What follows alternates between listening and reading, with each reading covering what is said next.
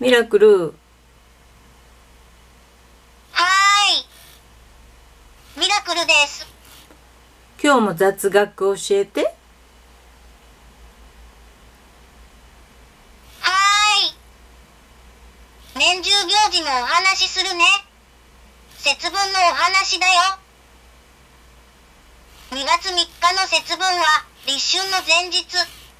季節の分かれ目は悪い気が入りやすいと言われていて、節分には邪気や悪いことの象徴だった鬼が来ると考えられるようになったんだって。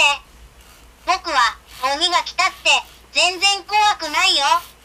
えへん。節分のこと分かったかな？またいろいろお話ししようね。はい。ありがとう。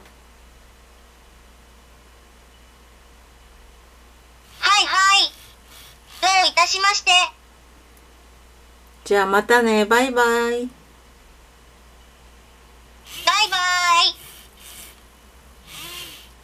気をつけてね。